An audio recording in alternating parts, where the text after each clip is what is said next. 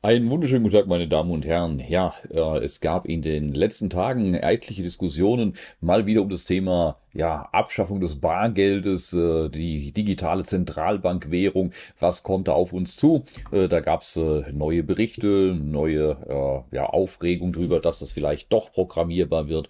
Und ich dazu einfach mal eine kurze Einschätzung. Ich glaube, ähm, wir haben eine beruhigende Meldung bei Focus bekommen. Äh, dort hat man nämlich äh, die Bargeldexperten, einen Bundesbankvorstand, den Herrn Balz befragt. Und ähm, ja, Bargeldverbot in Deutschland, muss man damit rechnen? Wie sieht's da aus?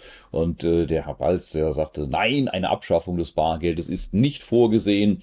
Vorgesehen und äh, auch darüber hinaus, dass die Bundesregierung und die EU-Kommission sich ähm, die besondere Rolle des Bargelds äh, einsetzt und eher sogar gestärkt hat.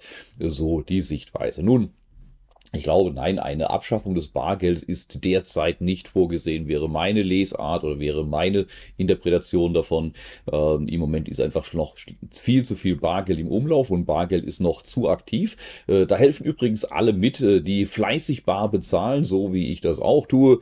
Ähm, die meisten kennen den Spruch schon von mir, wenn die Bedienung fragt, äh, wie möchten Sie bezahlen, ist meine Antwort, es gibt zwei Möglichkeiten, bar oder gar nicht. Sie haben die Wahl. Und mit jedem Bezahlvorgang Ausgang, äh, den wir bar machen, bleibt das Bargeld auch ein bisschen schwieriger abzuschaffen. Es wird natürlich kein Bargeldverbot von jetzt auf gleich geben, zu sagen, so, äh, ab morgen gibt's kein Bargeld mehr, das ihr einsetzen könnt. Das wäre schwer umzusetzen. Man wird es sukzessive aus dem Verkehr ziehen, damit ist viel eher zu rechnen. Also, das heißt, man wird jetzt erstmal ein äh, digitale den digitalen Euro zusätzlich einführen, um die Bürger zu beruhigen. Also so ein, das ist so ein schleichendes System. Ne? Man möchte erstmal, hat man die Leute ähm, ja fit gemacht, äh, was Kryptowährung angeht, dass digitales Geld irgendwie was Tolles sein muss. Als nächstes wird es dann diese, ähm, ja, äh, diese digitale Zentralbankgeld geben. Das wird auch nicht sofort das Bargeld ersetzen, sondern es wird als zusätzliches Angebot kommen und äh, mit sehr vielen tollen Funktionen versehen sein. Und sukzessive wird man es immer attraktiver und sexier machen, digital zu bezahlen mit dem digitalen Zentralbankgeld idealerweise und das Bargeld immer weiter aus äh, dem System nehmen, also aus der, aus der Nutzbarkeit nehmen. Man wird immer mehr Geldautomaten abbauen. Es wird dann irgendwann äh, die, die lokale Personale geben oder die, ähm, die Stellen geben, die gar kein Bargeld mehr annehmen. Die Menschen werden immer bequemer und finden es immer toller, mit ihrer Uhr zu bezahlen und mit dem Digitalen zu bezahlen. Und dem Bargeld wird es immer schwieriger gemacht die Gebühren für möglicherweise dann auch für die Unternehmen, die Bargeld annehmen. Das Handling wird umständlicher, wird teurer und äh, so wird sukzessive Bargeld unattraktiver gemacht. Ähm, natürlich dann die Geschichten, dass da so viele Viren drauf sind und Bakterien ne, äh, auf dem Bargeld, aber auf den äh, Tastaturen ist das nicht drauf, äh, wo man seinen PIN eingibt, da äh, ist keine, sind keine Bakterien drauf keine Viren drauf. Ähm, also man wird es sukzessive unattraktiv machen und wenn nur noch ein geringer Prozentsatz der Menschen ohnehin mit Bargeld bezahlt, weil es so schön bequem geworden ist und die fünf bis zehn Prozent Spinner, naja, auf die muss man dann keine Rücksicht mehr nehmen, weil das lohnt sich einfach nicht mehr. Und dann wird man sagen, es ist kein Interesse mehr da, die Bevölkerung will es ja gar nicht mehr und jetzt ist es auch völlig sinnlos, diesen ganzen Apparat mit dem Bargeldversorgen aufrechtzuerhalten. Deshalb werden wir das jetzt äh, per XY einstellen und wir bitten Sie, Ihre restlichen Beträge noch auf digitales Geld umzustellen. So, das ist nichts, was innerhalb von wenigen Monaten oder nächsten ein, zwei Jahren passiert, aber das ist etwas, mit was ich das ist meine persönliche Meinung. Das ist, kann ich Ihnen nicht garantieren, dass das so kommen wird, aber das ist meine Einschätzung, wo die Reise hingeht, dass das in den nächsten Jahren äh, die Entwicklung sein wird. Äh, es steckt einfach viel zu viel ähm, ja, Möglichkeiten da drin, den äh, Bürger zu überwachen. Bargeld ist einfach geprägte Freiheit. Ein 10-Euro-Schein, den kann ich überall abgeben und egal wer ich bin, bekomme ich ein Brötchen, bekomme, ähm, äh, bekomme einen Stift, bekomme vielleicht, äh, kann ein Flugblatt drucken lassen, was auch immer, oder kopieren. Ich kann ganz tolle Sachen machen, äh, eigentlich alles machen. Ich kann frei mich bewegen, äh, aber in dem Moment, wo es das nicht mehr gibt, wo es nur noch digitales Geld gibt, das mir zugeordnet ist, jetzt wird es natürlich schwieriger. Aber auch hier mal, so ist das ja gar nicht gedacht.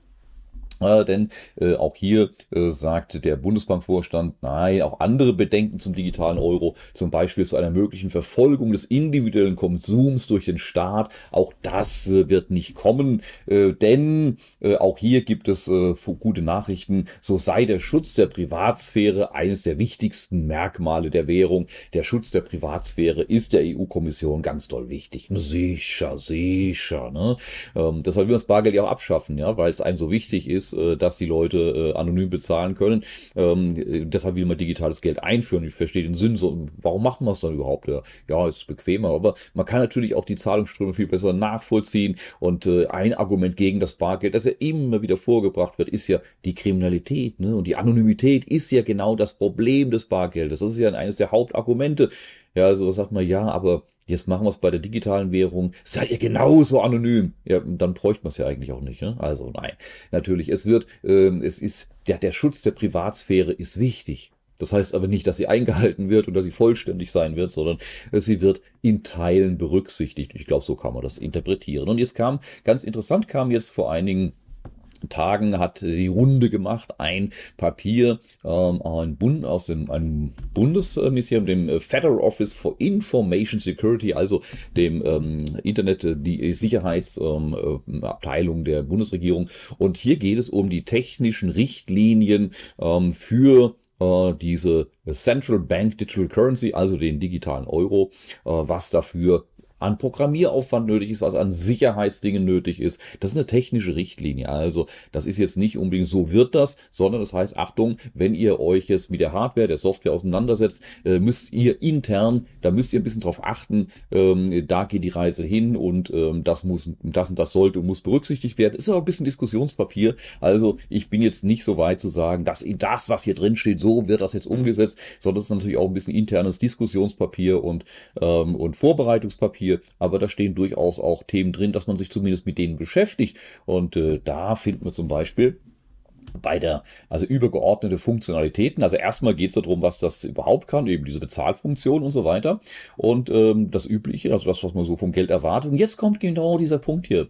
Ähm, jenseits dieser normalen Funktionalität äh, gibt es auch noch übergeordnete Funktionalitäten. Hm. Bei der praktischen Umsetzung kann das CBDC-Ökosystem, also die digitale Währung, weitere Funktionen enthalten. Also dann, ne, wenn wir uns erstmal eingeführt haben äh, und äh, alle sich dran gewöhnt haben, dann, also ich interpretiere das jetzt, da steht das so nicht drin, so ist jetzt meine Lesart, äh, dann könnte dann noch zusätzliche Funktionalitäten dazukommen. Das kann zum Beispiel die Unterstützung für die automatische Auslösung von Zahlungen sein, also es wird dann einfach irgendwas von ihrem Konto abgebucht, von ihrem Geldbeutel. Es wird, Geld wird weniger, einfach ausgedrückt, wenn vordefinierte Bedingungen erfüllt sind, oft als Programmierbarkeit bezeichnet, wobei es die ganze Zeit hieß, nein, also der digitale Euro, der wird nicht programmierbar, wird nicht programmierbar. Und hier steht aber oft als Programmierbarkeit bezeichnet, das soll künftig möglich sein. Also, hm, dass dann Geld auch wertlos wird, dass es nach, dass ein Ablaufdatum beispielsweise hat, ne? dass, dass äh, die 500 äh, Euro, die Sie gerade von Ihrem Arbeitgeber überwiesen bekommen haben, dass sie ein Ablaufdatum haben. Wenn sie es innerhalb nicht von drei Wochen ausgegeben haben, ähm, dann wird es eben hier automatisch äh, aufgelöst, ausgelöst, äh, abgebucht. Wäre denkbar. Ja? Oder, oder Zahlungen zu verbieten. Hm? Also mit Bargeld verbietet mir keiner meine Zahlung, ne? aber hier wird schon drüber nachgedacht, in einer Form Programmierbarkeit, Zahlungen zu verbieten, soll dieses System künftig können, wenn eine Brieftasche, Wallet, äh, nur für bestimmte Zwecke ausgegeben wurde, außerhalb ihres zulässigen Bereichs verwendet wird und so weiter. Also nur für bestimmte Zwecke ausgegeben wurde. Also sie dürfen nur Lebensmittel kaufen, aber kein XY. Also kurzum, da ist nichts mehr mit Freiheit. Ne? Also die Freiheit wird sukzessive möglicherweise eingeschränkt, nicht sicher, aber es könnte passieren. Und ähm, ja, dann geht das hier weiter. Also äh, im weiteren Verlauf liest man dann, dass also man sich schon darüber im Klaren ist, dass es für den Bürger ein Problem darstellt, dass der diese, ähm, ja, dass es dem ganz wichtig ist mit Anonymität dass der Bürger da kritisch ist und da sollte man also Lösungen finden und dann kommen da interessante Vorschläge. Ein allgemeiner Ansatz zur Lösung des Dilemmas besteht in der Verwendung verschiedener Arten von Geldbörsen mit unterschiedlichen Funktionen. Achtung, ja, ganz spannend. Ähm, so könnten diese unterschiedlichen Wallets zum Beispiel erlauben, äh, Folgendes erlauben. Zahlungen nur mit bestimmten Einschränkungen, zum Beispiel Höhe des gespeicherten Geldbetrags, Anzahl der Zahlungen pro Tag, Geldbetrag pro Transaktion oder Tag oder ohne derartige Beschränkungen abgesehen von allgemeinen Beschränkungen, falls die Zentralbank es für angebracht hält, diese aufzuerlegen, ziemlich kryptisch. Dieser Ansatz kann zu mindestens zwei Arten von Geldbörsen führen. Völlig anonyme Wallets, die keine persönlichen Informationen erfordern und Beschränkungen unterliegen und personalisierte Geldbörsen, die vollständig rückverfolgbar sind, aber keinen Beschränkungen unterliegen. Entscheiden Sie doch selber, was Sie wollen. Ne? Also nochmal. Ähm, das ist alles ein bisschen kryptisch, was hier steht. Und ähm, sich diesen ganzen, diese ganzen Texte durchzulesen, das ist auch das eine. Ähm, dann daraus abzuleiten, was denn das am Ende bedeutet, äh, was am Ende programmiert wird, das ist nochmal ein anderes Thema, das wissen wir auch nicht, aber wir können davon ausgehen, dass darüber diskutiert, das wird momentan verwendet. Also über diese Dinge wird offenkundig zumindest nachgedacht und man macht sich Gedanken, wie man das umsetzen kann. Meine Damen und Herren, meine Einschätzung dazu ist sehr klar. Das Bargeld wird sukzessive aus dem Verkehr verschwinden, über die nächsten Jahre, nicht kurzfristig, aber sukzessive. Am Ende wird eine digitale Währung stehen, nicht nur in Europa, sondern weltweit wird es digitale Währungen geben, ähm, die eine vollständige Programmierbarkeit ermöglichen und es werden künftige Regierungen, wenn es mal eingeführt ist, auch alles nutzen, um damit Macht über die Bevölkerung auszuüben. Das bedeutet, ähm, damit ist möglich, individuelle äh, Käufe zu nicht nur zu analysieren, sondern auch zu ermöglichen oder zu verbieten. Man kann da auch das äh, ist schon in der äh, Probephase in, den, in einigen Bereichen ihre Verkäufe, ihre Käufe, ihre Einkäufe, die sie tätigen, alles, was sie mit ihrem Geld anstellen, mit einem CO2 Ausstoß zu koppeln mit einem CO2-Konto. Und äh, wenn Sie Ihre monatlichen CO2-Ausgaben übersteigen, dann auch Ihr Geld nicht mehr funktioniert. Möglicherweise wird es dann, wie wir gerade gesehen haben, unterschiedliche Wallets geben. Vielleicht bekommt der, der besonders lieb ist, der vielleicht eine Stiftung betreibt oder der besonders äh, gut in der öffentlichen Wahrnehmung ist, bekommt ein Wallet ohne Einschränkungen. Äh, der normale Bürger bekommt eins mit Einschränkungen und der kritische Bürger bekommt eins mit sehr vielen Einschränkungen. Wer weiß das schon? Und wenn es dann heißt, vertrauen Sie Ihrer Regierung, ja, äh, alles andere ist, äh, da, das ist eine Verschwörungstheorie, man muss der Regierung vertrauen. Nein, meine Damen und Herren, ich vertraue der Regierung. Ich vertraue keine Regierung. Also das würde auch jede Regierung eines anderen Landes betreffen. Ich vertraue Regierungen grundsätzlich nicht. Und da ist man auch gut beraten, das so zu sehen. Denn Sonst wären ja all die Kontrollmechanismen, äh, die unser Staat hat und die andere demokratische Staaten haben, ja gar nicht nötig. Ne? Warum gibt's sie? Warum gibt's Checks and Balances? Warum gibt's Gewaltenteilung? Weil man seit all das her weiß, dass man denen, die Macht haben, nicht trauen darf. Um Gottes Willen. Macht führt immer dazu, sich zwangsweise auszudehnen, zu erweitern und sich zu verselbstständigen und irgendwann äh, zu einem totalitären System zu werden, wenn es nicht eingehegt wird. Das ist die Natur der Macht, äh, sich ähm, immer weiter auszudehnen. Also man muss die Macht immer eindämmen und man ist gut beraten, der Macht beziehungsweise denen, die Macht ausüben, nicht blind zu vertrauen, sondern sie immer zu hinterfragen und ihnen immer äh, zuzutrauen, dass sie wieder die nächste Überwachung, die nächste ähm, Stelle Stellschraube nehmen, um ihre Macht zu erweitern. Und das gehört, und dazu gehört natürlich die individuelle Macht über das Verhalten des individuellen Bürgers dazu, wie der sein Geld ausgibt. Das ist ein zusätzliches Machtinstrument und die, die Macht ausüben, haben natürlich ein intrinsisches Interesse daran, diese Macht auch zu erhalten. Und nein, ich traue da niemandem. Und ich sage, wenn ihr das äh, umsetzt, wird das eines Tages auch so sein. Sukzessive, Stück für Stück, nicht alles auf einmal, aber eben mit der Zeit. Und alles andere halte ich für möglich, aber für nicht wahrscheinlich. Das, was ich eben beschrieben habe, ist meine Einschätzung, ist meine Meinung, wo die Reise hingeht. Werden wir es verhindern können? Wahrscheinlich nicht. Vielleicht können wir es verzögern. Also alle kritischen Einschätzungen dazu sind herzlich willkommen und man kann nur aufrufen, zahlen Sie mit Bargeld so oft Sie können und so, lange Sie können. Äh, seien Sie kritisch gegen die Einführung der digitalen Währungen. Ich bin ja ein Riesenfan von, von Vereinfachung und das ist mit digitalem Geld leicht zu bezahlen. Jetzt bin ich ja überall dabei.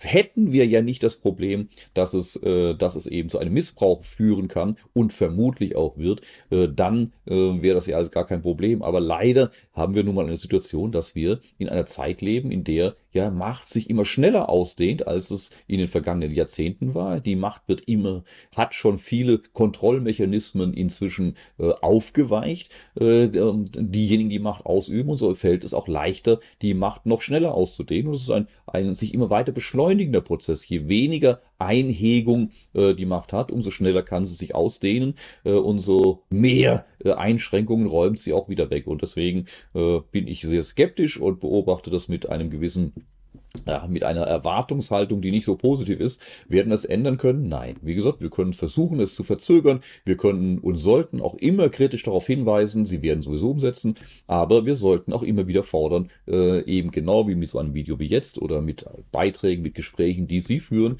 eben darauf hinzuweisen, nee, Freunde, wir sehen das, wir achten darauf, was ihr da macht und wir sagen das laut raus. Äh, auch wenn es euch nicht passt, auch wenn ihr wollt, dass wir das nicht sagen.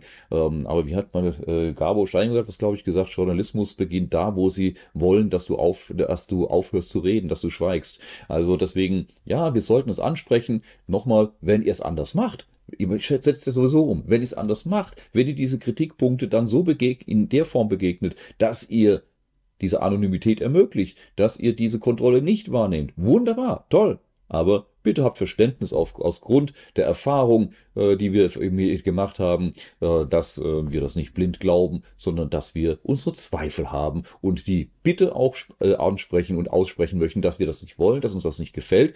Denn wenn wir es nicht tun, dann sagt ja sowieso jeder, ist den Leuten doch egal, die, die stört es doch gar nicht, wenn wir sie überwachen. Doch, es stört uns, das sagen wir laut, ihr macht sowieso, wie ihr es wollt, aber wir wollen es euch nicht ganz so einfach machen, wir sagen es eben. Der Kaiser hat keine Kleider an und äh, wir achten darauf, was ihr da künftig mit anstellt. In diesem Sinne, mehr soll es gar nicht sein und ich werde weiter mit Bargeld bezahlen, solange mir die Möglichkeit noch bleibt. Wenn es irgendwann nicht mehr ist, dann kann ich es auch nicht ändern, dann werde ich mit dem bezahlen müssen, was noch möglich ist oder mit was ich noch darf. Das wird dann so sein, aber bis dahin versuche ich, meine Freiheit zu erhalten, wo es mir möglich ist. In diesem Sinne, Ihnen allen einen schönen Tag.